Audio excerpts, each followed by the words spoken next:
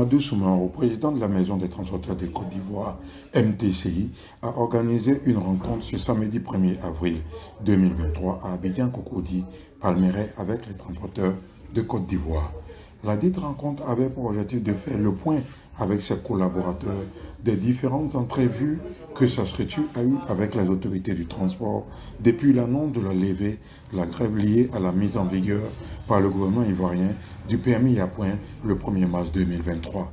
Lors de cette rencontre, les transporteurs ont pu se rendre compte des avancées notables dans les négociations entre les différents membres de MTCI et les autorités du transport en Côte d'Ivoire. Aujourd'hui, c'était pour faire vraiment le compte rendu. Depuis euh, le mois passé, il devait y avoir des grèves sur toute l'étendue du territoire national et nous avons décidé de suspendre cette grève-là.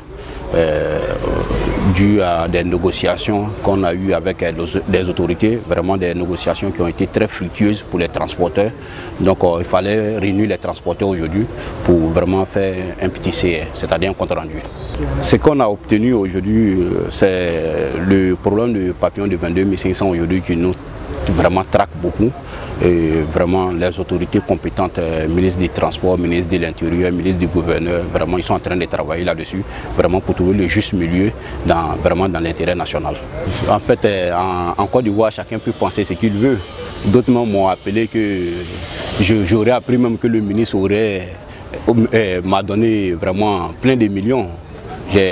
Vraiment, c'est dégueulasse, c'est décourageant. Euh, si les revendications, le syndicalisme doit se limiter seulement pour prendre de l'argent, vraiment que l'Afrique, vraiment l'Afrique ne va pas quitter là où elle est. Voilà, il faut mettre ces choses-là de côté. Euh, je vais vous donner un exemple. Le président Alassane Ouattara aujourd'hui fait tout pour la Côte d'Ivoire. Mais je peux dire que c'est 30% des Ivoiriens qui l'ont voté. Hein. Voilà. Il est le président de tous les Ivoiriens, mais il y a les gens qui ne l'ont pas voté. Et il y a les gens qui se lèvent aujourd'hui en longueur de journée pour insulter le président de la République. Est-ce qu'il a déjà répondu à quelqu'un? Il faut te mettre au travail. Ceux qui disent que j'ai vendu la lutte ou bien que j'ai trahi euh, mes confrères, pourquoi je n'ai pas accepté la grève? Bon, ça n'engage que. On revendique pour avoir quelque chose. Et quand je dis cette chose, ça ne t'appartient pas, ça appartient aux transporteurs. Moi, je suis l'envoyé des transporteurs je suis allé pour faire des revendications sur le papillon de 22 500, sur les, papillons des mairies qui s'élèvent de 10 000 à 200 000 francs, sur les remorquages abusifs. Et je suis parti pour faire cette négociation et vraiment tout en train de prendre forme. Voilà, tout en train de prendre forme et d'ici peu de temps, il y a des choses que vous allez voir qui vont disparaître sur les routes. C'est pourquoi je dis que c'est des choses qui existent depuis, depuis des décennies en Côte d'Ivoire on ne se lève pas un seul matin pour déraciner. Il y a des procédures à suivre, il y a des négociations à faire. Et il y a près de 5-6 ministères aujourd'hui qui interfèrent dans le secteur du transport. Tous ces, ministères-là aujourd'hui, il faut créer des panels, négocier, trouver des, formules dans l'intérêt des transporteurs. Donc ce n'est pas un matin on va se lever pour dire qu'à partir d'aujourd'hui on ne veut plus voir policiers dans la route. Mais ça est dans le plan du gouvernement. Dans le plan du gouvernement, D'ici peu de temps, vous n'allez plus voir des policiers dehors. Les policiers vont disparaître. C'est la vidéo-verbalisation qui va rentrer en ligne de compte, qui va tout faire. Vous n'allez plus voir de policiers en route. Mais d'ici ce temps, vraiment, il y a, des prix à payer. Parce que aussi, quand on parle de l'assainissement du secteur du transport, les transporteurs sont contents, mais il y a d'autres encore qui ne sont pas contents parce qu'eux profitent de, de, cette désorganisation, de ce cafouillage-là pour s'enrichir sur le dos du citoyen lambda. Donc, euh, le folklore arrange d'autres personnes, mais nous les transporteurs, aujourd'hui il faut enterrer le folklore pour vraiment embrasser la modernisation. Le seul message que je lance aujourd'hui aux transporteurs routiers de Côte d'Ivoire, c'est de rester mobilisés, de rester ensemble, vraiment de revendiquer positivement, pas négativement. Voilà, les gens parlent que j'ai trahi mes, compagnons de lutte aujourd'hui, que j'ai trahi, tout le monde, parce que je n'ai pas accepté d'aller à la grève. Oui, nous allons gréver, c'était pour avoir quoi? Moi, je suis opérateur économique, je suis propriétaire d'une trentaine de véhicules. Si tous ces véhicules la gare, qu'est-ce que je gagne?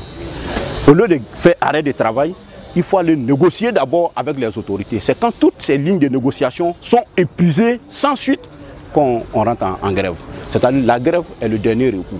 Mais aujourd'hui, là, on est reçu partout. J'ai été reçu par le, ministre du, ministère du, Transport, le ministère de l'Emploi, le ministre du Budget du portefeuille de l'État. J'ai été reçu par le district d'Abidjan. Tous les ministères sont en train de nous recevoir. Mais pourquoi gréver Il faut négocier jusqu'à avoir vraiment ce que les transporteurs ont besoin aujourd'hui. Et les transporteurs aujourd'hui, les problèmes phares, c'est le racket et le renouvellement de parc auto parce que tous les véhicules sont vieillissants.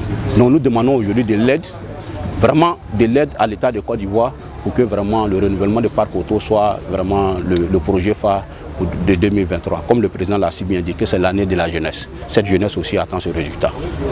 Au sorti d'ici, bon, aujourd'hui nous avons lancé une campagne de sensibilisation qui va commencer à partir de lundi matin Lundi, c'est le 3. C'est la semaine de la sécurité routière. Donc, euh, il faut sortir quand même, si on est sur les différentes lignes, voir ce qui se passe sur le terrain. Parce qu'il y a des policiers vraiment qui, abusent quand même de leur, pouvoir. Il faut sortir un peu positionner euh, tout le district d'Abidjan durant les, une semaine de sécurité routière, vraiment accompagner les conducteurs, les transporteurs, vraiment pour que cette sécurité routière vraiment soit, soit, soit, De quoi va-t-il s'agir? Un bras de fer? Non, pas forcément un bras de fer. Bon, nous sommes contre aujourd'hui un policier qui arrête un véhicule qui a toutes ses pièces afférentes. Bon, tu n'as pas le droit de, le retenir. Voilà. Tu n'as pas le droit de le retenir. Donc tous ceux qui ont les pièces aujourd'hui, en tout cas à partir du lundi matin, vont circuler librement. Mais ceux aussi qui n'ont pas de pièces, on les invite à aller se mettre à jour, à aller passer les visites techniques, à payer les assurances, à payer les patentes, les cas de stationnement, vraiment pour renforcer aussi l'économie nationale, pour le développement de la Côte d'Ivoire. Donc on demande à tous les transporteurs vraiment de se mettre à jour vis-à-vis -vis de la loi, des pièces afférentes des véhicules. Ceux qui n'ont pas de pièces, qu'ils gardent pour le moment aller se mettre à jour avant de sortir. Aujourd'hui, j'interviens comme euh, partenaire auprès de la MTCI, donc, que j'appuie dans la mise en œuvre de la modernisation du transport que la MTCI est en train de, mettre en place. Je dirige Moja Ride. Moja est une société de paiement électronique qui aujourd'hui aide les transporteurs à moderniser la façon de travailler. Vous savez, beaucoup de problèmes surviennent du fait de la liquidité qui circule sur le terrain. Donc nous aidons à dématérialiser donc les titres de transport. Il y a beaucoup de gares de Baka aujourd'hui, vous partez, vous pouvez payer euh, avec votre carte Moja que nous émettons. Bientôt, vous pourrez payer vos cartes bancaires, bientôt avec Orange Money. Tout ça pour donner aux transporteurs une traçabilité de ses revenus, pour l'aider également dans le renouvellement du parc auto. Les banques veulent financer, mais elles veulent une certaine traçabilité des revenus qui sont générés. Et donc nous accompagnons sur ce segment-là la MTCI pour euh, faciliter le, le du parc auto.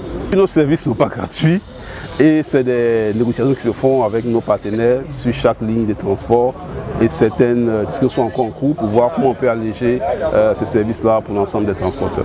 Pour le citoyen ordinaire, c'est un gain de temps. Lorsque vous arrivez sur une gare de transport, vous allez faire un rang. Après, vous allez avoir la question des monnaies pour payer. Ah, c'est la première chose. Donc, si vous pouvez payer avec votre carte bancaire, vous pouvez payer avec les cartes que nous émettons, ça vous fait gagner du temps. Première chose. Ensuite, aujourd'hui, on n'en parle pas assez, mais quand vous voyagez, très, souvent, c'est pas qui est dans le véhicule. Et quand il y a des accidents de route, après, il faut remonter tout ça. Avec ce que nous faisons, très bientôt, on pourra savoir le bac numéro de temps partait de tel point à tel point, qui était à bord, les indemnisations au niveau des assurances. Tout ce processus va s'enclencher pour créer un transport moderne et pour le plaisir de tous les citoyens et également des transporteurs. Une forme de digitalisation L'ensemble des paiements et des opérations de transport, déjà ça a commencé avec le gouvernement. La plupart des permis et tout ça, c'est digitalisé. Vous avez la CGI qui s'occupe de ça. Nous, nous sommes un complément, nous appuyons donc les transporteurs au niveau de leurs opérations de tous les jours pour créer la traçabilité nécessaire pour que les banques et l'État puissent nous accompagner plus facilement. Comme je l'ai dit, nous existons depuis 2020. Nous avons vu beaucoup d'opérateurs, beaucoup d'organisations de, transporteurs sur le terrain. Et ce monsieur, je ne le connaissais pas. Ce sont les actes qui sont posés qui nous font comprendre que voici une organisation qui travaille dans l'intérêt des transporteurs, dans l'intérêt du public et qui accompagne le gouvernement. Je pense qu'aujourd'hui, la MTCI est le meilleur allié du gouvernement dans la mondialisation du transport en Côte d'Ivoire. Et nous, Moja, nous allons jouer notre partition pour que ce travail-là euh, s'exécute de la meilleure façon possible. Mes sentiments sont qu'aujourd'hui, la maison des transporteurs est en train d'œuvrer pour le bien-être des transporteurs, des chauffeurs et des auxiliaires du transport. Voilà, donc euh, tout ce parcours, tout ce travail est en train de se faire pour mettre vraiment le, transport en face de la modernité. c'est une joie qui m'anime aujourd'hui. Euh, vu beaucoup de chauffeurs, euh, transporteurs venaient écouter le message du président. Euh, comme le jeune journaliste l'a dit, c'est eux qui ont envoyé le président en mission.